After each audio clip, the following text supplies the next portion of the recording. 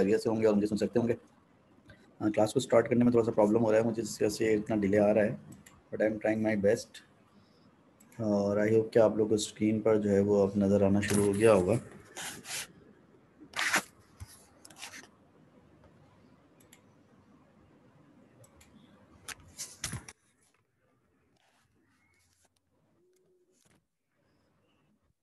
देखिए स्क्रीन पर आप लोग देख सकते हैं कि जो अभी हम डिस्कस करने जा रहे हैं टॉपिक कम्युनिकेशन का चैप्टर को कंटिन्यू कर रहे हैं और वो टॉपिक आपका है चैनल्स ऑफ़ कम्युनिकेशन क्या है भाई? Channels of communication channels of communication जो है बेसिकली आप जो है वो उन मीडियम्स को कहते हैं, उन मीडिया को कहते हैं जिसके ज़रिए आप अपने सिंगल को ट्रांसफ़र कर सकते हैं। अब वो बेसिक से जो वो आपके मीडियम जिनके ज़रिए अपने सिंगल को आप ट्रांसफ़र कर सकते हैं, वो चैनल्स ऑफ़ कम्युनिकेशन कहलाते हैं और उसमें जो है वो आपके बहुत सारे मीडियम आ जाते हैं, जैसे कि वायर पेयर है या फिर केबल वाला वायर है, या ऑप्टिक फाइबर है, या रेडियो वेव है माइक्रोवेव है सेटेलाइट है, ये सब आपके चैनल्स ऑफ़ कम्युनिकेशन होते हैं। अब हम यहाँ पर जो है, आपको वन बाय वन जो है इसके बारे में थोड़ा थोड़ा बताते रहेंगे, और फिर इसके कंप्लीट नोट्स मेरे पास हैं, वो नोट्स मैं आपके साथ शेयर कर देता हूँ अभी, ठीक है? अब देखें चैनल ऑफ़ कम्युनिकेशन जो है, उसमें सबसे पहला जो चैनल ऑफ़ कम्युनिकेशन हमारे पास है, वो है वायर पेयर्स वायर पेयर आप किसे कहते हैं? वायर पेयर आप सिंपली जो आपका नॉर्मल जो टेलीफोन का तार होता है या जो नॉर्मल जो तार होता है, उसको वायर पेयर कहते हैं। तो दुनिया का जो सबसे पहला सिग्नल होगा, ज़ाहिर है वो वायर पेयर के ज़रिए ट्रांसफ़र किया गया होगा। दुनिया का जो पहला टेलीफोन बना होगा, उसका सिग्नल जो है वायर पेयर के ज़रिए ट्रांसफ़र होगा। वायर पेयर जो है, वैसे तो बहुत अच्छे हैं, लेकिन उसके कुछ नुकसान हैं जिनकी वजह से हमें उनको रिप्लेस करना पड़ा। नुकसान आपके सामने आ रहे हैं कि वायर पेयर का नुकसान ये है कि वायर पेयर में क्रॉस लिंकिंग होती है। क्रॉस लिंकिंग का मतलब ये है कि अगर फ़र्ज़ करें कि आप अपने एक सिंगल ट्रांसफ़र कर रहे हैं एक वायर के ज़रिए कोई भी आदमी जो है इस वायर में जो है वो एक कनेक्शन लगाकर एक कुंडा लगाकर जो है वो आपके सिग्नल को जो है चुरा सकता है और उसमें जो है आपका सिग्नल जो है किसी दूसरे सिग्नल के साथ मिक्स हो सकता है ठीक है पुअर सिक्योरिटी का वही मतलब है जो मैंने आपको बताया कि इसमें सिक्योरिटी बिल्कुल भी नहीं है क्योंकि कोई भी आदमी जो है वो आपकी जो है वो आपके सिग्नल को आसानी से टैप कर सकता है मिसाल के तौर पर अगर आपको टेलीफोनिक कन्वर्सेशन कर रहे हैं थ्रू अ वायर पेयर तो कोई भी शख्स जो है वो उस वायर पेयर के अंदर जो है वो कनेक्शन लगाकर आपकी सारी बातें सुन सकता है तो उसमें कोई सिक्योरिटी नहीं है, आपका डाटा चोरी हो सकता है। हाई अटीन्यूशन होती है इसमें। हाई अटीन्यूशन का क्या मतलब है? हाई अटीन्यूशन का मतलब ये है कि जब इसमें से सिग्नल गुजरेगा तो उसमें पावर लॉस बहुत ज़्यादा होगी। आपको याद होगा, कल हमने पढ़ा था कि भाई जो है वो एटीन्यूशन ऑफ़ अ मीडियम होती है। जैसे मीडियम की जो एटीन्यूशन होती है, वो होती है जनाब आपका, मिसाल के तौर पर जैसे आपका जो है वो एटीनेशन पर मीडियम में मिसाल तौर पर एक है फाइव डेसिबल पर किलोमीटर इसका मतलब है कि जब मीडियम एक किलोमीटर जब सिंगल ट्रैवल करेगा उस मीडियम में तो उसमें फाइव डेसिबल की एटीनेशन हो जाएगी। लेकिन यहाँ पर जो एटीनेशन होती है बहुत ज़्यादा होती है twenty five thirty forty decibel per kilometre यानी सिग्नल जो है वो एक किलोमीटर चलेगा और थर्टी फोर्टी फिफ्टी डेसिबल की उसमें एटीनेशन हो जाएगी, जिसकी वजह से इसको हमें रिप्लेस करना पड़ा दूसरे मीडियम में। उसके अलावा इसकी एक प्रॉब्लम और है कि इसकी लो बैंडविथ होती है। लो बैंडविथ का मतलब ये होता है कि इसके अंदर से जो है वो आप कम डाटा जो है गुजार सकते हैं। बैंडविथ ज़्यादा होने का मतलब ये होता है कि ज़्यादा डाटा जा सकता है। लो बैंडविथ का मतलब इसमें से कम डाटा जा सकता है। मिसाल के तौर पर, अगर मेरे पास एक वायर पेयर है तो उस वायर पेयर पर आप एक वक्त में मुश्किल से पचास, सौ कॉल जो है वो ट्रांसफ़र कर सकते हैं। टेलीफोन कॉल्स लेकिन अगर आपके पास फाइबर ऑप्टिक है तो उसी फाइबर ऑप्टिक पर आप पचास, सौ तो क्या, पचास, सौ लाख जो है कॉल जो है एक साथ ट्रांसफ़र कर सकते हैं। तो बैंडविथ जो है वो उसकी बहुत कम होती है। इसकी वजह से इसमें जो है वो आपको प्रॉब्लम आता है। बैंडविथ कम होने का मतलब है इस पर आप कम डाटा भेज सकते हैं, अगर फ़र्स्ट करेंगे इसको आप टेलीफोनिक कन्वर्सेशन के लिए यूज़ करें तो एट अ टाइम आप बहुत कम कॉल जो है इससे ट्रांसफ़र कर सकते हैं। नॉइज़ इसमें बहुत होता है। नॉइज़ इसमें बहुत इसलिए होता है क्योंकि ये सराउंडिंग का जो सिग्नल होता है, उनको कैच करता है। ये वो सराउंडिंग के सिग्नल्स को कैच करता है तो जो आपका जो सिग्नल ट्रांसफ़र हो रहा था, उसके अंदर वो सराउंडिंग के सिग्नल्स जो है मिक्स हो जाते हैं, जिसको आप नॉइज़ कहते हैं। तो नॉइज़ इसमें बहुत ज़्यादा होता है। तो ये डिसएडवांटेज हैं जिसकी वजह से हमने वायर पेयर को फिर दूसरे मीडियम के ज़रिए जो रिप्लेस किया, और क्या क्या एडवांटेज हैं? कि इसमें क्रॉस लिंकिंग होती है, इसमें प्योर पुअर सिक्योरिटी होती है, और इसमें जो है वो हाई एटीन्यूएशन होती है, इसमें लो बैंडविथ होती है, और इसमें बहुत सारा नॉइज़ भी होता है। ठीक है?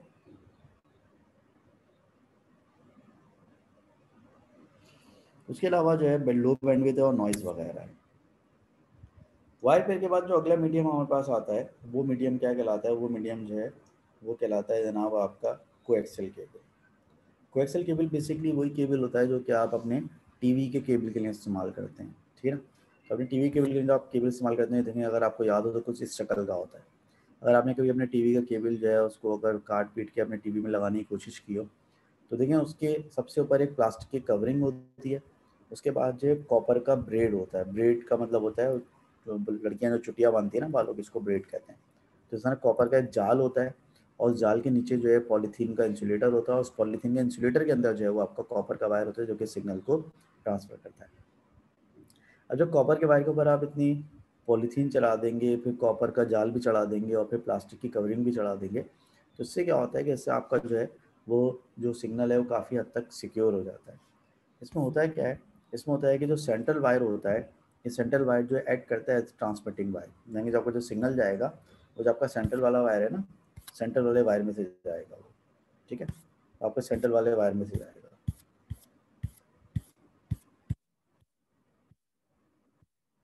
ठीक है? आपका जो सिग्नल है, वो एक्चुअली आपके सेंटर वाले वायर में से जाएगा। अब ये ब्रेडेड आउटर कंडक्टर कवर जो है, ये सेंट्रल वायर का इसको अर्थ किया हुआ होता है। इसका क्या मतलब है? इसका मतलब ये है भाई कि आपका जो ये, वो था ना, क्या कहते हैं? ये जो आपका जो सेंट्रल वायर था, इसके ऊपर जो आपने कॉपर का ब्रेड चढ़ाया हुआ था जाल चढ़ाया हुआ था, इस जाल को आपने अर्थ किया हुआ होता है।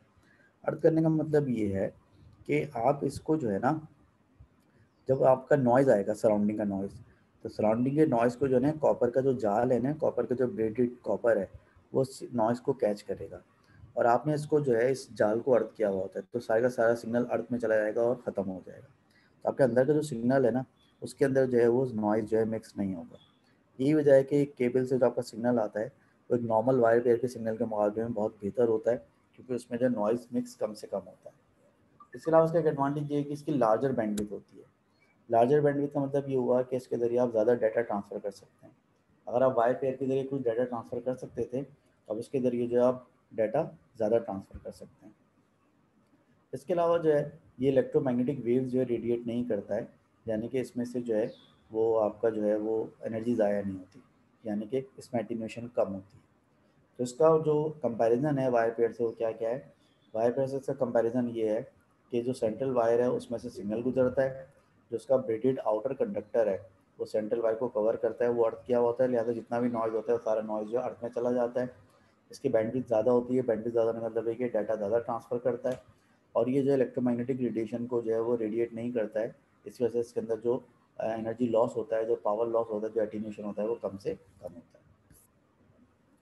अब इससे भी जो एक बेहतर ऑप्शन है, वो है ऑप्टिक फाइबर ऑप्टिक फाइबर जो होता है बेसिकली क्या होता है? ऑप्टिक फाइबर जो होता है बेसिकली वो एक ग्लास की एक ट्यूब होती है, जिसको आपने एक मटेरियल से कवर किया हुआ होता है और उसके अंदर लाइट ट्रैवल करती है। और लाइट जो है वो आपका डाटा लेके जो है वो उसको लेके कैरी करती है। इसमें क्या फ़ायदा होता है? इसमें फ़ायदा ये होता है कि इसकी बैंडविथ बहुत ज़्यादा होती है। मतलब फ़र्स्ट करने का एक नॉर्मल वायर जो है, उसकी जो बैंडविथ होगी, एक नॉर्मल वायर जितना डाटा लेके जा सकता है, अगर उसी थिकनेस का, उसी डायमीटर का अगर एक फाइबर ऑप्टिक हो, या ऑप्टिक फाइबर हो तो ऑप्टिक फाइबर जो उसके मुकाबले में कई हज़ार गुना ज़्यादा डाटा लेके जा सकता है। एटीन्यूशन बहुत कम होती है क्योंकि इसमें जो है, हम करंट को या वोल्टेज को पास नहीं करते, इसमें हम लाइट को पास करते हैं। और उसको जो है, वो टैप करना ऑलमोस्ट इम्पॉसिबल है। क्योंकि इसके अंदर से कोई करंट तो पास हो रहा नहीं होता है। अगर आप फाइबर ऑप्टिक में कुंडा लगा भी देंगे तो इसमें से करंट थोड़ी आएगा। उसके अंदर से तो बेसिकली लाइट ट्रैवल कर रही होगी। तो लाइट को तो टैप करना ऑलमोस्ट इम्पॉसिबल है। इसके अलावा ये कॉपर वायर के मुकाबले में बहुत सस्ता होता है, क्योंकि कॉपर आपको पता है कितना महँगा है। जबकि फाइबर ऑप्टिक जो है वो किसी प्लास्टिक मटेरियल का बनाया जाता है ग्लास का बनाया जाता है, जो कि ज़्यादा कॉपर के मुकाबले में बहुत सस्ते हैं। नॉइज़ बहुत कम होता है। नॉइज़ बहुत कम होता है क्योंकि सराउंडिंग के सिग्नल्स को ये कैच नहीं करता ऑलमोस्ट ऑलमोस्ट ना होने के बराबर कैच करता है, इसलिए इसमें नॉइज़ बहुत कम होता है। और ये ट्रांस कॉन्टीनेंटल कम्युनिकेशन के लिए आइडियल है। ट्रांस कॉन्टीनेंटल कम्युनिकेशन का क्या मतलब है? फ़र्स्ट करें कि हम जो है, वो यहाँ पर बैठे हुए हैं एशिया में। अब हमें यूरोप से कनेक्ट होना है। तो अगर हम एशिया से लेकर यूरोप तक अगर कॉपर का वायर बिछाएँगे या केबल का वायर बिछाएँगे तो समझ लें बस हमारी तो बैंड बच जाएगी। लेकिन ये जो है, ये बहुत आइडियल है क्योंकि ये बहुत पतला सा तार होता है। हम क्या करते हैं कि इसको एक प्लास्टिक के कवर चढ़ाते हैं बड़ा सा इसको मोटा, और उसको समंदर के नीचे बिछा देते हैं। तो आपका सारा डाटा जो होता है वो इस फाइबर ऑप्टिक के ज़रिए ट्रांसफ़र हो रहा होता है। आपने अक्सर देखा होगा कि अक्सर पाकिस्तान में नेट काम करना जो बंद कर देता है तो उसकी वजह ये होती है कि कराची से लेकर दुबई तक आपने एक ऑप्टिक फाइबर की लाइन बिछाई हुई है। तो जो ऑप्टिक फाइबर की लाइन है, वो कभी कभी होते हैं कि किमाड़ी के पास या किमाड़ी से आगे जो कुछ जहाज़ वहाज आते हैं तो वो उस वायर को काट देते हैं उनके, उनका जो नीचे, उनका जो एंकर नीचे गिरता है ना लंगन नीचे गिरता है। तो बाद अवत वो जो है वो उस ऑप्टिक फाइबर से फंस जाता है। ऑप्टिक फाइबर आपकी टूट जाती है। तो आप एक कॉन्टिनेंट से लेकर दूसरे कॉन्टिनेंट तक जो है, आमतौर पर जो ट्रांसफ़र करते हैं डाटा वो आप फाइबर ऑप्टिक के ज़रिए करते हैं और उसके लिए आप समंदर के नीचे जो है, समंदर की सब जो बॉटम है, उसके नीचे जो आप एक तार बिछाते हुए चले जाते हैं। ठीक है? इसके अलावा एक और आपके पास चैनल ऑफ़ कम्युनिकेशन है, वो क्या कहलाता है? वो कहलाता है रेडियो एंड माइक्रोवेव आप रेडियो वेव के ज़रिए और माइक्रोवेव के ज़रिए जो है वो आप कम्युनिकेशन करते हैं। अगर आपको याद हो तो आपने जो ओ लेवल्स में या एएस लेवल में जो आपने इलेक्ट्रोमैग्नेटिक रेडियो इलेक्ट्रोमैग्नेटिक स्पेक्ट्रम पढ़ा था उनमें सबसे ज़्यादा वेवलेंथ वाली जो इलेक्ट्रोमैग्नेटिक वेव्स होती हैं, वो रेडियो वेव्स होती हैं, उससे कम वेवलेंथ वाली जो होती हैं माइक्रोवेव्स होती हैं। या दूसरी जबान में जो सबसे सॉरी जो सबसे ज़्यादा वेवलेंथ वाली वेव्स होती हैं रेडियो वेव्स होती हैं, उससे कम वाली वेवलेंथ वाली जो होती हैं माइक्रोवेव होती हैं। इसी तरह से रेडियो वेव्स होती हैं, सबसे कम फ्रीक्वेंसी वाली इलेक्ट्रोमैग्नेटिक वेव्स होती हैं। अगर फ्रीक्वेंसी का आप उनकी और बढ़ाएँगे तो फिर वो माइक्रोवेव बन जाती हैं।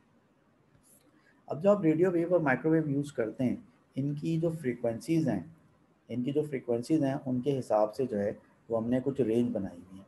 उन रेंज को हम बैंड कहते हैं। बेसिकली हमने छः बैंड बनाए हुए हैं रेडियो वेव और माइक्रोवेव के। लॉन्ग वेव मीडियम वेव और medium wave short wave very high frequency यानी कि एफ़ अल्ट्रा हाई फ्रीक्वेंसी यानी कि एफ़ और माइक्रोवेव्स अब देखें, सबसे पहले जो हम, सबसे जो बड़ी वेवलेंथ इस्तेमाल करते हैं लॉन्ग वेव लॉन्ग वेव इसको इसलिए कह रहे हैं कि उसकी वेवलेंथ बहुत ज़्यादा होती है। फ्रीक्वेंसी इसकी तकरीबन थ्री किलो से लेकर थ्री हंड्रेड किलो तक होती है और इसकी जो वेवलेंथ होती है, तकरीबन एक किलोमीटर से लेकर टेन किलोमीटर तक हो सकती है। ये जो सबसे बड़ी वाली रेडियो वेव्स हैं, जिनको आप लॉन्ग वेव कहते हैं, इनको आप रेडियो ब्रॉडकास्ट के लिए इस्तेमाल करते हैं। यानी आपको कोई रेडियो स्टेशन खोलना है नॉर्मल वाला बीबीसी लंदन वाला या रेडियो पाकिस्तान वाला तो लॉन्ग वेव जो उसको आप यूज़ करते हैं। उसके बाद उससे थोड़ी वेव लेंथ उससे छोटी वेव लेंथ होती है और फ्रिक्वेंसी थोड़ी ज़्यादा होती है, उनको आप मीडियम वेव कहते हैं। और मीडियम वेव का जो बैंड होता है, इनकी जो रेंज होती है फ्रीक्वेंसीज की, वो 300 हंड्रेड से लेकर थ्री मेगाहर्ट्ज तक होती है। और इनकी जो वेव लेंथ होती है, वो 100 मीटर से लेकर मुबशर अली यार, ये ये लाइने वाइने नहीं डालो, तुम्हारा नाम हमारा लिखा हुआ। और मीडियम वेव जो है, वो 300 हंड्रेड से लेकर थ्री मेगाहर्ट्ज तक इनकी जो फ्रीक्वेंसीज की रेंज होती है, और उनकी वेव लेंथ जो वैक्यूम में होती है, वो तकरीबन हंड्रेड मीटर से लेकर वन किलोमीटर तक होती है। और ये जो 100 मीटर से लेकर वन किलोमीटर तक की वेव लेंथ है, इसको भी आप इस्तेमाल करते हैं नॉर्मल रेडियो की ब्रॉडकास्ट के लिए। उसके बाद शॉर्ट वेव्स आती हैं। शॉर्ट वेव्स जो होती हैं, उनकी फ्रीक्वेंसी थ्री मेगाहर्ट से लेकर थर्टी मेगाहर्ट तक होती है। और उनकी जो वेव लेंथ होती है, वो टेन मीटर से लेकर हंड्रेड मीटर तक हो सकती है। और इसको भी आप रेडियो ब्रॉडकास्ट के लिए इस्तेमाल करते हैं। तो उसके बाद आती है V H F V H F का मतलब होता है वेरी हाई फ्रिक्वेंसी वाली वेव्स इनकी जो फ्रिक्वेंसीज होती हैं, वो थर्टी मेगाहर्ट से लेकर थ्री हंड्रेड मेगाहर्ट तक होती हैं। उनकी वेवलेंथ जो है वन मीटर से लेकर टेन मीटर तक होती है। इनको आप यूज़ करते हैं एफएम में। एफएम जो कम्युनिकेशन होती है, वो हाई फ्रिक्वेंसी पे होती है। तो इनको आप इस्तेमाल करते हैं एफएम रेडियो के ब्रॉडकास्ट के लिए या कि मोबाइल फ़ोन के लिए भी आप इनको इस्तेमाल कर सकते हैं। अल्ट्रा हाई फ्रिक्वेंसी यू जो है, ये 300 हंड्रेड से स्टार्ट होती है और थ्री गीगर्ट्स तक इसकी फ्रिक्वेंसी की रेंज आती है। और उसकी वेवलेंथ की रेंज जो है टेन सेंटीमीटर से लेकर वन मीटर तक होती है। और उसको आप टेलीविज़न के ब्रॉडकास्ट में यूज़ करते हैं या फिर मोबाइल फ़ोन्स के ब्रॉडकास्ट में जो है, वहाँ पर भी इस्तेमाल कर सकते हैं। माइक्रोवेव्स जब होती हैं, जो कि सबसे ज़्यादा फ्रिक्वेंसी वेव्स होती हैं, जो कि अब ज़ाहिर है आपके जो फाइव जी में भी यही यूज़ होंगी अब तो उनकी फ्रिक्वेंसीज की रेंज जो है थ्री गीगार्ट से लेकर थ्री हंड्रेड गीगार्ट तक होती है और उनकी जो वेव लेंथ होती है वैक्यूम में, वो तकरीबन वन मिलीमीटर से लेकर वन सेंटीमीटर तक होती है और इनको आप सेटेलाइट के लिए जो है सेटेलाइट कम्युनिकेशन में इनको आप इस्तेमाल करते हैं। तो बेसिकली आप रेडियो वेव्स और माइक्रोवेव के ज़रिए जो कम्युनिकेशन करते हैं तो रेडियो वेव और माइक्रोवेव के जो स्पेक्ट्रम है इलेक्ट्रोमैग्नेटिक स्पेक्ट्रम उसको आपने 600 में डिवाइड किया हुआ है।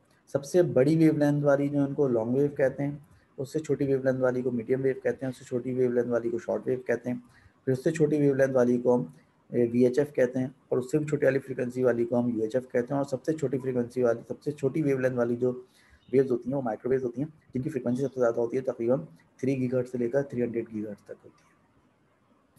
अभी जो हमारी वेव्स हैं, इन वेव्स को आपने तीन कैटेगरीज में अलग से डिवाइड किया हुआ है।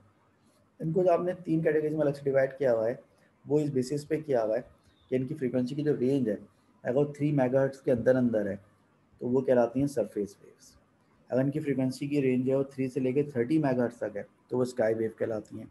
और उनकी फ्रीक्वेंसी अगर थर्टी मेगाहर्ट्ज़ से ज़्यादा है तो वो स्पेस वेव कहलाती हैं. अब ये सरफेस वेव स्काई वेव और स्पेस वेव कहने की क्या वजह है?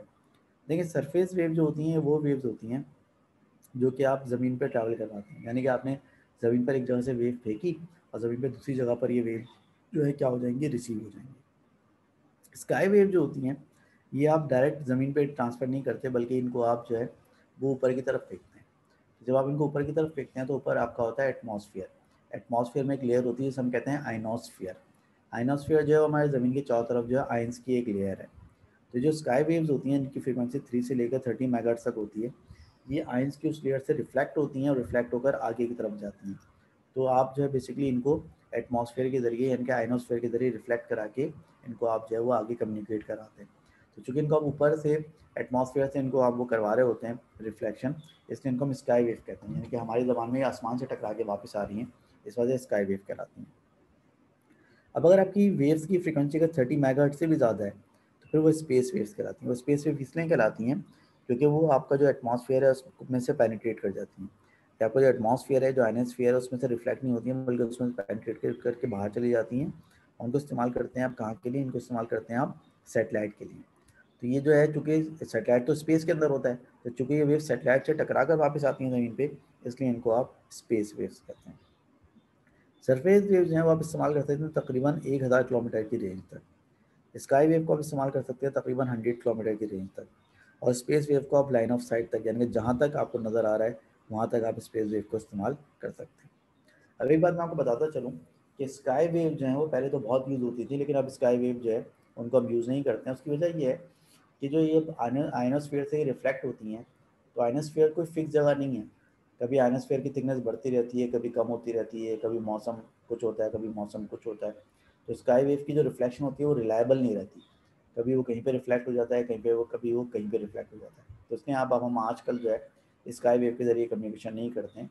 और जो मैंने आपको रीज़न बताया है नोट्स में लिखा हुआ है, उसको आप गौर से पढ़िए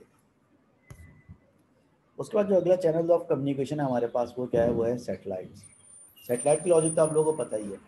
ज़मीन पर एक जगह से हम सिग्नल फेंकते हैं, ऊपर वो सेटेलाइट से टकराता है और सेटेलाइट से टकरा कर फिर वो सिग्नल किसी और पॉइंट पे चला जाता है, जिसके ज़रिए आप पूरी अर्थ के जो है कम्युनिकेशन उसको कवर कर सकते हैं। अब देखें, होता है क्या है?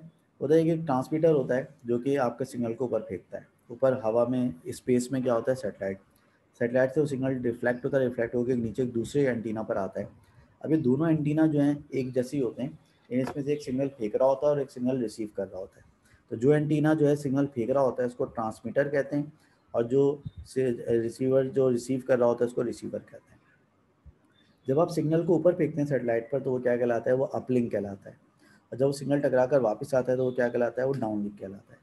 अब एक चीज़ नोट करें कि जो अपलिंक है, यानी कि वो सिग्नल जो आप, जो कि आपने ऊपर फेंका था, वो 16 गीगाहर्ट्ज़ की फ्रीक्वेंसी का है। जब वो सिग्नल टकरा कर वापस आ रहा है तो उसकी फ्रीक्वेंसी कितनी है? फोर गीगाहर्ट्ज़ है। तो सेटेलाइट में हमेशा जो है वो अपलिंक को और डाउन लिंक को जो है डिफरेंट रखा जाता है। उसकी फ्रीक्वेंसी को डिफरेंट रखा जाता है। उसकी वजह क्या होती है? उसकी वजह यह है कि ट्रांसमिटेड सिग्नल जब सेटेलाइट के पास पहुँच रहा होता है तो उसमें एटीमेशन इतनी हो चुकी होती है कि वो मर चुका होता है। फिर जब वो सेटेलाइट तक पहुँचता है तो सेटेलाइट उसको एम्पलीफाई करके क्या करता है, वापस भेज देता है। अब प्रॉब्लम ये होता है कि सिग्नल आ भी रहे होते हैं, जा भी रहे होते हैं। और सिग्नल वापस जाने वाले सिग्नल बहुत स्ट्रॉन्ग होते हैं, क्योंकि उनको बिल्कुल नया नया आपने रीजनरेट किया होता है सेटेलाइट पर।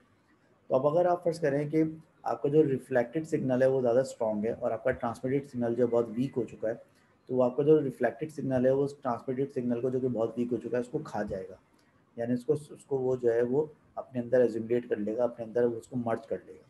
तो दोनों सिग्नल जो कि जाने वाले और आने वाले उनको आपस में मर्ज करने से रोकने के लिए, उनको डिफ्रेंशिएट करने के लिए हम क्या करते हैं, उनको एक दूसरे से डिफ्रेंशिएट करने के लिए हम भी करते हैं कि जो सिग्नल आ रहा होता है और जो सिग्नल रिफ्लेक्ट होकर वापस जा रहा होता है, उन दोनों की फ्रिक्वेंसीज को डिफरेंट रखते हैं। जो सिग्नल आ रहा होता है और जो सिग्नल टकरा कर वापस जा रहा होता है, उन दोनों की फ्रिक्वेंसीज को हम क्या रखते हैं डिफरेंट रखते हैं, ताकि वो आपस में मिक्स ना हो। यही वजह है कि अपलिंक की फ्रिक्वेंसी मिसाल के तौर पर यहाँ पर सिक्सटीन गीगाहर्ट्ज़ है और जो डाउनलिंक की डाउनलिंक की जो फ्रिक्वेंसी है, वो यहाँ पर फोर है। ये सब तफसील नोट्स में लिखी हुई है।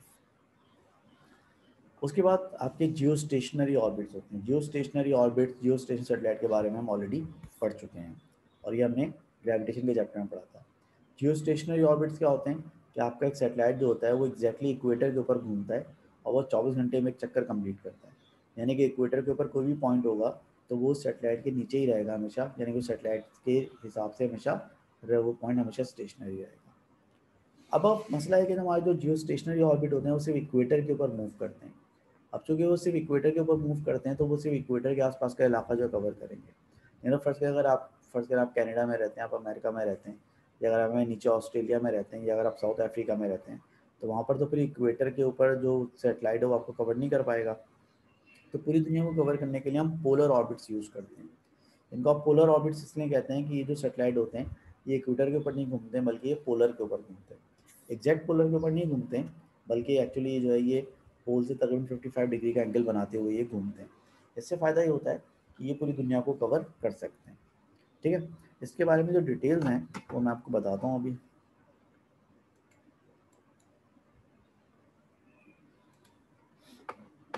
ये जो मैंने आपको सारी कहानी सुनाई है, इसके नोट्स ये है सारे। ये इसके कंप्लीट नोट्स हैं। पूरी जो मैंने आपको कहानी सुनाई है, यानी कि आपको लिखने की कुछ भी ज़रूरत नहीं सब कुछ आपको लिखा लिखा है मिलेगा। इसमें लिखा हुआ है जो चैनल ऑफ़ कम्युनिकेशन है आपके, इसमें बहुत सारे चैनल ऑफ़ कम्युनिकेशन है, लेकिन हमने कुछ इंपॉर्टेंट वाले डिस्कस किए हैं। Wire pairs coaxial cables optic fibres radio wave and microwave and communication satellite तो वायर पेयर के बारे में जो आपको डिटेल बताई सब लिखी हुई है cross linking poor security high attenuation low bandwidth noise सब डिटेल लिखी हुई है। कोएक्सियल केबल के बारे में आपको जो कुछ मैंने बताया, सब कुछ अंग्रेज़ी में लिखा हुआ है, बहुत तफसील के साथ लिखा हुआ है। ऑप्टिक फाइबर के बारे में जो कुछ मैंने आपको बताया, इसको भी आप अच्छी तरह पढ़ें। सब कुछ तफसील से लिखा हुआ है कि इसके क्या क्या एडवांटेजेस हैं क्या क्या डिसएडवांटेजेस हैं। रेडियो वेव्स और माइक्रोवेव्स के बारे में जो मैं आपको डिटेल बताई, सब लिखी हुई है। जो टेबल मैंने आपको दिखाया था वो टेबल भी यहाँ पर बने हुए हैं। ये सारे वही टेबल हैं, जो कि आपकी रेडियो वेव्स और माइक्रोवेव्स के टेबल हैं। ठीक है? इसके अलावा जो आपके सेटेलाइट्स हैं, उसके बारे में भी तफसील से लिखा हुआ है, जो मैंने आपको तस्वीर दिखाई थी अभी। अप लिंक डाउन लिंक के बारे में सब कुछ लिखा हुआ है। पोलर ऑर्बिट्स के बारे में डिटेल लिखी हुई है, जो कि आप पढ़ेंगे तो इंशाल्लाह बड़ा फाफा होगा।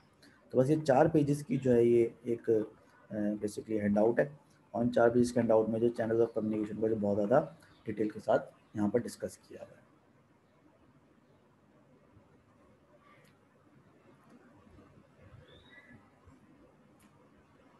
ठीक है? तो चैनल्स ऑफ़ कम्युनिकेशन जो है मैं रिकमेंड करूँगा कि आप सब लोग तफसील के साथ कम अज़ कम एक दफ़ा ज़रूर पढ़ें। ये फ़ाइल मैं अभी आप लोगों के साथ शेयर करता हूँ ग्रुप के ऊपर। आप लोगों का ग्रुप कौन सा मुझे तो ये नहीं पता। आप लोगों को तो पता नहीं कितने ग्रुप बने हुए छः छः ग्रुप से तो मैसेज आ रहा होता है आप लोगों को। मैं सोच रहा हूँ आप लोग अपने एक अलग व्हाट्सएप का ग्रुप बनाऊँ, जिसमें ये सारे जो मटेरियल वगैरह नोट्स वोट्स वहाँ पर शेयर करूँ। वरना पता नहीं किस किस ग्रुप में मुझे शेयर करना पड़ेगा। आप लोगों के हर दूसरे दिन कोई नया ग्रुप बना हुआ होता है आप लोगों का।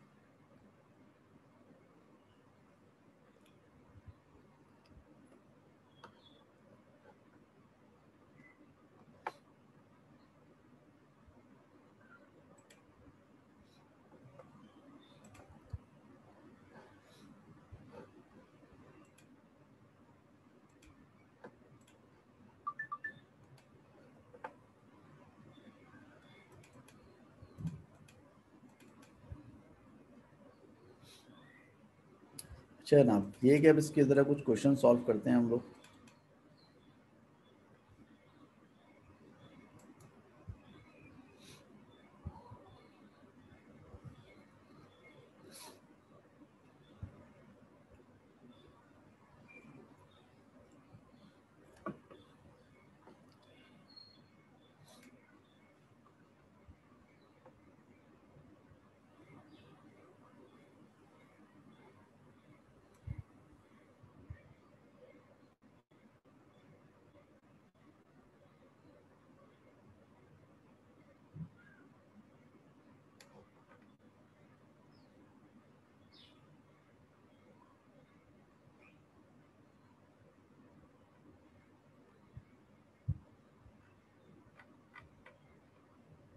ये देखिए, एक वर्कशीट है, जो कि मैं चाहूँगा कि हम इसको अभी सॉल्व करें।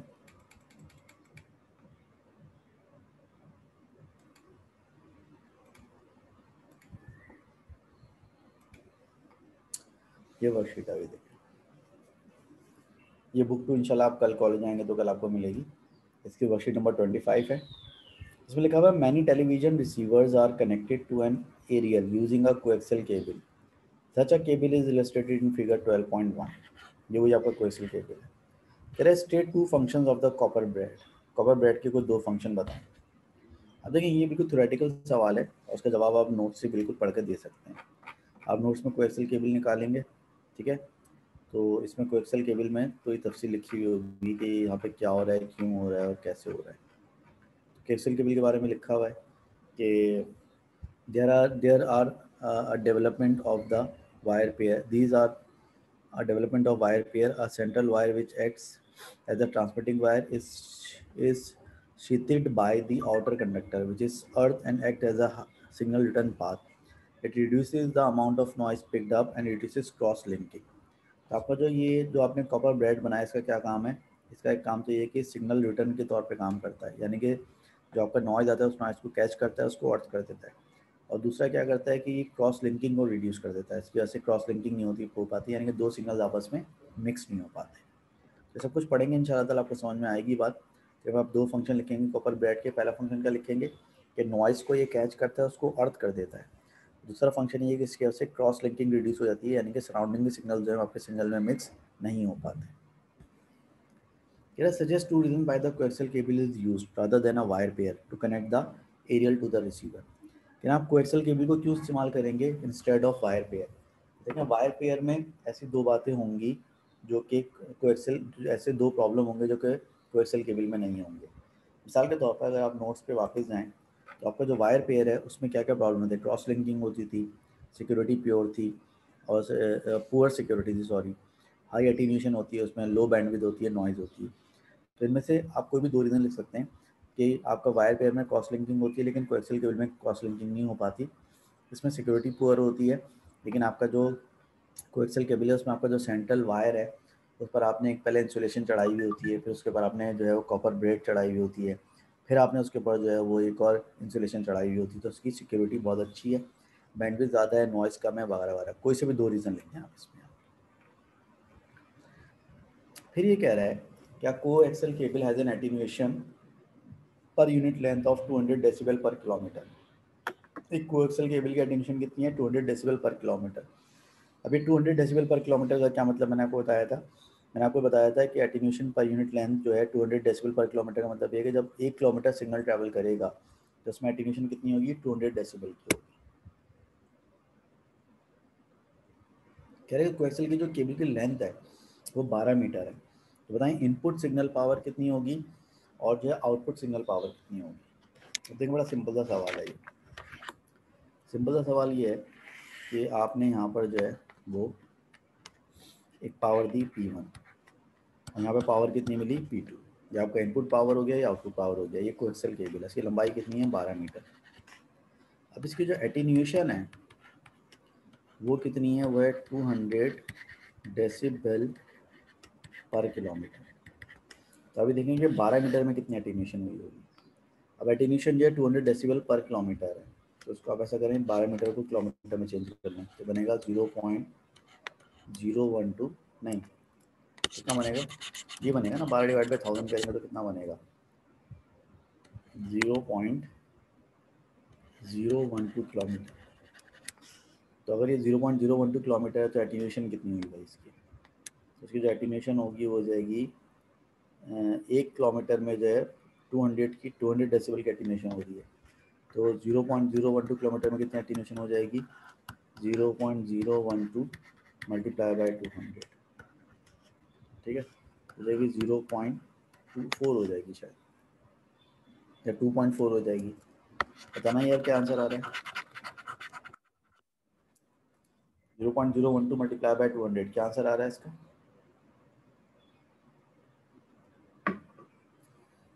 Two point four. तो उसमें टू पॉइंट फोर डेसीबल की जो है वो क्या हो जाएगी? टू पॉइंट फोर डेसीबल की जो है वो एटीन्यूशन हो जाएगी। जब आप यहाँ पर एटीन्यूशन का फॉर्मूला लगाएँगे आप तो एटीन्यूशन का फॉर्मूला क्या होता है? Ten log initial power divide by final power अब एटीन्यूशन इसमें हुई है टू पॉइंट फोर डेसीबल की। बराबर है ten log p one upon p two ten को वहाँ ले जाएँगे तो जाएगा zero point two four is equals to log p one upon p two अब ट्वेंटी फोर का आप एंटी लॉग लेंगे तो हो जाएगा टेन की पावर टू पॉइंट फोर यहाँ से लॉग खत्म होगा तो बचेगा p one upon p two p one क्या चीज़ है? इनपुट पावर तो यहाँ इनपुट पावर पी टू का मतलब क्या? आउटपुट पावर या गई आउटपुट पावर इसका रेशो आपको चाहिए। तो आपका जो आंसर होगा p one upon p two होगा, जो कि बराबर होगा टेन की पावर टू पॉइंट फोर ये दूसरे अल्फाजों में anti log of zero point two four point two point four नहीं है पॉइंट टू फोर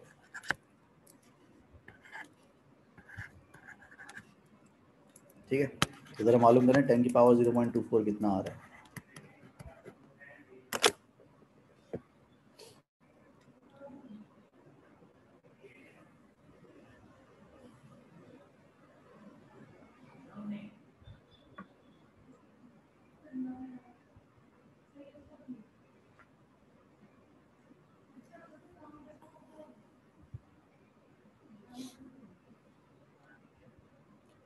बताओ इसका क्या आंसर आ रहा है? टेन के power zero point two four क्या आ रहा है? One point seven four. तो रेशो आ जाएगा वन पॉइंट सेवन ठीक? तो आपका आंसर हो जाएगा वन पॉइंट सेवन ठीक है? तो बस देखें मैंने एक दो सवाल आपको करवा दिए इसके। और ये अब आप ये नोट्स मैं आपके साथ अभी शेयर करता हूँ। इनको आप अच्छी तरह से पढ़ें। अभी हमारा कम्युनिकेशन का चैप्टर जो ऑलमोस्ट ख़त्म हो गया है। अब देखिए प्रॉब्लम आप लोग की चूँकि सेक्शन एन और सेक्शन ओ की बहुत हिसाब किताब बड़ा आउट रहा है, बड़ी शफलिंग रही है। कुछ लोग सेक्शन एन से सेक्शन ओ में आए, कुछ लोग सेक्शन ओ से सेक्शन एन में आए, कुछ लोग ऑनलाइन क्लासेस हुई, किसकी फ़िज़िकल क्लासेस हुई तो ये बड़ी डिस्टर्बेंस रही जब से कॉलेज स्टार्ट हुआ है। तो मुझे लगता है कि चैप्टर जो है ना आप लोगों ने प्रॉपर जो है ना बीच बीच में से कुछ आगे पीछे मिस किया है। तो चैप्टर तो आसान था, ये इतना मुश्किल नहीं था और मेरे ख्याल से जो आपने क्लासेस ली होंगी, आपकी समझ में भी आया होगा। लेकिन जो टॉपिक आपके मिस हुए हैं या बीच में जो चीज़ आपकी आगे पीछे हो गई उसका हल ये है कि मैंने जो है वो, मैं लेक्चर्स रिकॉर्ड कर रहा हूँ छोटे छोटे। मिसाल के तौर पर मैंने एटीनेशन का एक लेक्चर रिकॉर्ड कर लिया। मैंने जो है वो डिजिटल कम्युनिकेशन का एक लेक्चर रिकॉर्ड कर लिया। मैंने एफ़ एम एम का एक लेक्चर रिकॉर्ड कर लिया। ये छोटे छोटे लेक्चर्स में ना, बीस बीस, पच्चीस पच्चीस मिनट के आधे आधे घंटे के लेक्चर्स रिकॉर्ड कर रहा हूँ। अब मैं ये करूँगा कि लेक्चर्स जब मेरे पास जमा हो जाएँगे अच्छे खासे तो मैं उनको टाइटल वाइज जो है वो शेयर कर दूँगा ग्रुप पे। मिसाल मैं शेयर कर दूँगा कि भाई ए का लेक्चर तो अगर आपको सिर्फ़ ए का टॉपिक समझना है तो आप पूरा एक घंटे की क्लास नहीं सुने, आप सिर्फ़ वो ए की रिकॉर्डिंग सुन लें। अब मैं एक लेक्चर में शेयर करूँगा भाई बाइनरी कन्वर्जन का, वो पंद्रह मिनट का लेक्चर है। तो आपको सिर्फ़ बाइनरी कन्वर्जन पढ़ना है तो आप पूरा डिजिटल का जो है छः लेक्चर ना सुने, आप सिर्फ़ बाइनरी का कन्वर्जन सुन लें बस। तो ये छोटे छोटे लेक्चर्स बना बना के जो मैं आपके साथ अभी ग्रुप पे शेयर करता हूँ इन ताला कल परसों से स्टार्ट करूँगा शेयर करना। तो आपकी जो जो चीज़ें आगे पीछे हुई होंगी मिस हुई होंगी, समझ में नहीं होंगी, वो आप लेक्चर सुनते रहिए, ठीक है? और कल आप कॉलेज आएँगे तो इन ताला कल तक आपको बुक टू भी मिल जाएगी। तो बुक टू जब आपको मिल जाएगी तो फिर आप बुक टू को सॉल्व करना भी शुरू कर दीजिए। ठीक है? तो फिर इंशाल्लाह अब आपकी नेक्स्ट क्लास जो है वो कल है। कल हम जो है वो इस पर फिर जो है डिस्कशन करते हैं और देखते हैं मज़ीद क्या काम करना है। ठीक है? जब तक कि मैं इजाज़त चाहूँगा क्योंकि मेरी अगली क्लास है जहाँ मुझे पहुँचना है और ये इन शाला नेक्स्ट क्लास में आप उसको मैं यहाँ से कंटिन्यू करूँगा।